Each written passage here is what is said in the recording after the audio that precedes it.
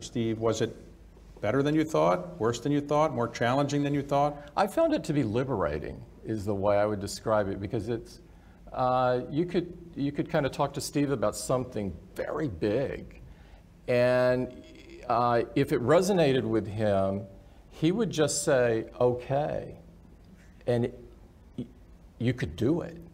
And so it was like a, you know, like a total revelation for me that a company could run like this, uh, because I was used to these layers and bureaucracy and studies and, you know, studying things, uh, sort of the paralysis that companies can get into.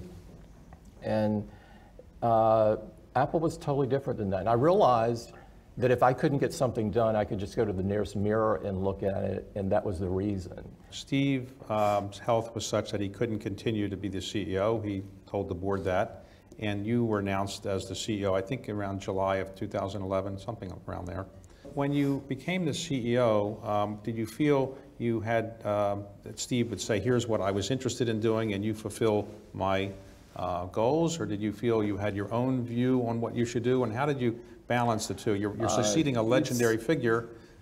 It's not so sequential as that. Uh, we have a really open company, and so uh, most of us could finish the other person's sentences even when we might disagree with them. And so it wasn't a matter of, of Steve having this secret file or something. He was always sharing his ideas uh, all the time. And so, so uh, very different than that. And I, I thought, honestly, my, my thought at that time, and I know people have told me you're, you're, you're just not very smart, uh, but my view at that time was he was going to be chairman and he would do that forever.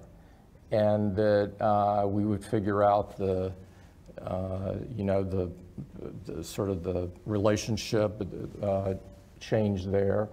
And that's what I thought. And it, un, you know, unfortunately, it didn't turn out that way.